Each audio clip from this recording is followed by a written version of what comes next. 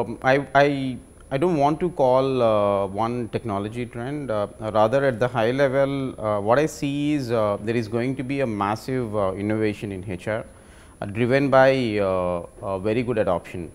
So, innovation um, it, it, doesn't work uh, uh, in a linear fashion, it, it is a, it's a, it's a circular thing. Innovation is followed by adoption and then fed by a, a very very strong feedback loop.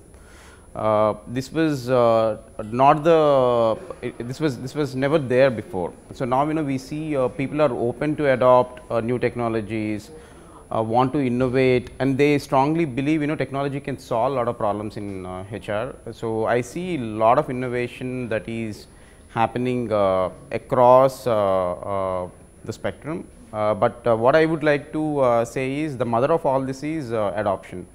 So, I am going to see a massive change in HR landscape because of you know adoption and this is not going to be uh, only for uh, tech companies or uh, new age companies or uh, some set of companies. So, across uh, you know we are going to see that.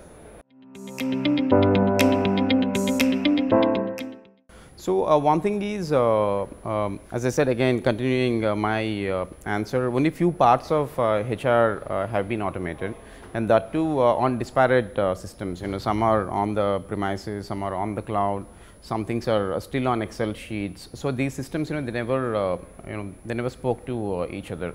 So, here we are going to uh, witness a massive uh, a change. So, people are moving towards uh, digitalizing the entire employee uh, life cycle. So, they are coming on to the cloud and most likely uh, they are taking you know integrated uh, systems. So, for example, um, um uh, touchwood you know we had very very good traction in Darwinbox. Um, so, we have a large number of uh, clients using uh, uh, the complete employee life cycle on Darwinbox.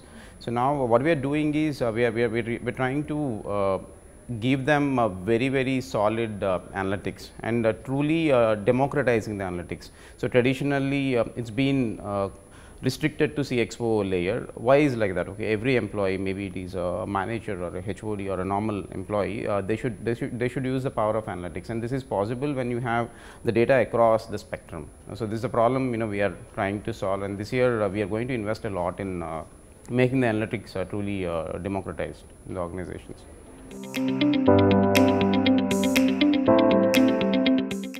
So, uh, with the changing demographics, uh, what I see is there is not going to be much of resistance, uh, uh which used to be the primary uh, theme when it comes to digital transformations. I mean, the assumption is there is going to be resistance and uh, how do you tackle with the resistance. I do not think this is going to be the case.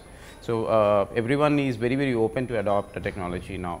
So, only resistance you get is when you give them uh, systems you know that do not work. You give them uh, good systems they definitely adopt there will not be any uh, resistance. They want uniform experience, they want you know one login where uh, they can solve pretty much everything. No one likes to log in you know, into 10 systems. So, you give that uh, they will automatically adopt. So, that is critical and second uh, tracking adoption is very very critical. Uh, it is always done reactively, it should be done proactively.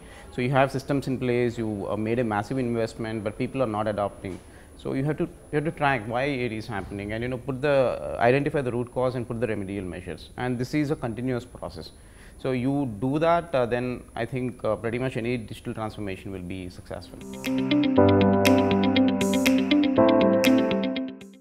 So, an annual pilgrimage for all HR folks in India.